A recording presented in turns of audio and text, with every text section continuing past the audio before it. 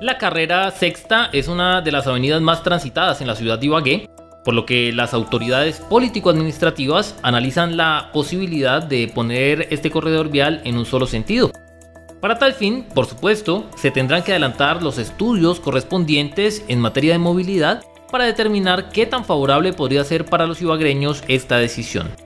Pero, ¿qué es lo que piensan los comerciantes y los ciudadanos que residen a un costado de esta avenida en la capital tolimense? Se lo contamos aquí a través de Eco del Conveima. En las horas pico, esto se pone insoportable el tránsito de motos, de carros, las bucetas, ambulancias. Muchas veces aquí han sucedido accidentes aquí en este cruce porque el que viene de la 44 con sexta hacia la 42 con quinta voltea, hace el viraje sin tener una precaución. No tienen en cuenta de que va el peatón, el que sale de la clínica. Yo vivo por acá en este sector y he visto gente ya casi accidentada por ese motivo.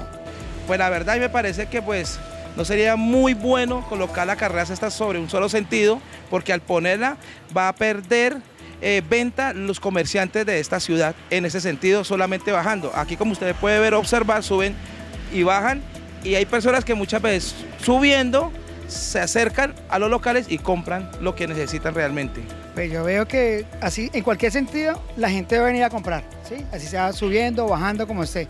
El problema de Ibagué y de la carrera C de todas las calles es la, la parqueadización, todo se volvió un parqueadero, Ibagué es un parqueadero grande donde todo el mundo no respeta, todo el mundo se parquea una hora, dos horas. Yo creo que la carrera sexta nos sirve como que subiendo, bajando. Necesitamos más cultura ciudadana, que la gente deje de parquear en la vía y así tengamos más espacio para clientes y para circulación. Para mí, que trabajo por acá hace años, es, es muy importante la subida y la bajada de la avenida porque para nosotros solo que quede bajando acostumbrado a que uno voltea para acá para los repuestos, entonces si no necesitamos repuestos para este lado, vea, nos toca dar la vuelta, no se puede, para mí es, es muy inconforme que hagan eso por acá. Ayudaría para el tránsito porque es que a veces pasan muchos accidentes acá y pues a mí como almacén no me afectaría mucho porque los clientes van a llegar aquí, haya una sola vía o dos vías. A mí me parece que es bueno porque da más afluencia de los vehículos en las horas picos cuando van bajando, por ejemplo del centro descongestiona más la quinta, que es cuando más hace tracones, por lo menos en la 28, en el Liceo Nacional, en el San Simón, en los colegios en las horas pico, entonces la sexta que da más afluencia.